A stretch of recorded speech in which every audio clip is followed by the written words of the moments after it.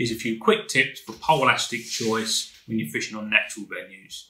For me, I like to keep my selection quite small and compact. That way, you use each elastic quite a lot. You really get to know the characteristics of each elastic. So that allows you to select the right one every time you're on the bank. It's a real bonus that for me. So I'll start off with the heavier one I use. This is a blue Daiwa Hydro elastic. I This is my go-to elastic for bigger bonus fish, whether that's in the middle of winter on a canal or on a big loch or reservoir in the summer. Blue would be my choice. It's got a nice thickness to it. So if you're fishing with a, a big hook bait with a big hook for like a bony mouth perch or something like that, this will set the hook really well, but still retain that softness when you're playing the fish, so you're going to lose less. So for big bonus fish, blue's my go-to. Next up, we've got pink hydro.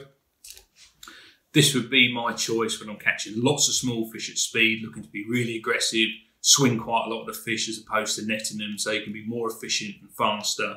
Or also be fishing for lots of small fish, but the peg is particularly deep, so you're using a quite a big pole float.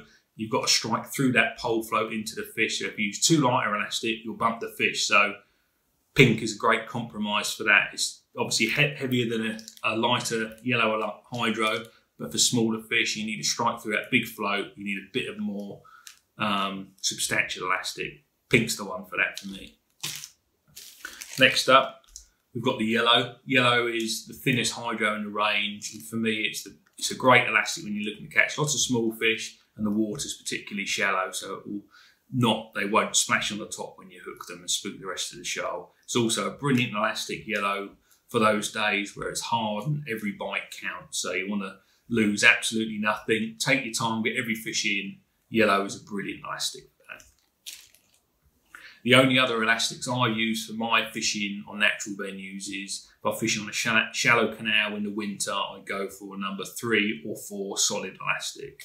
I'd use the three if it was fishing shallow water for small fish or particularly small fish fishing anyway, and I'd use a four for pretty much everything else.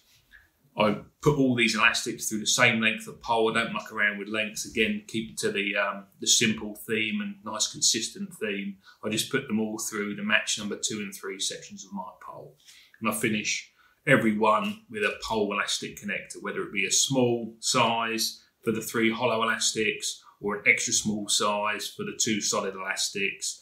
They're my go-to every time. I use them exactly as they come on the stick with the ultra stiff braid. That braid kicks your uh, pole rig away from your pole top nicely. Vastly reduces tangles when you're shipping in and out quick. So great bonus that is for me.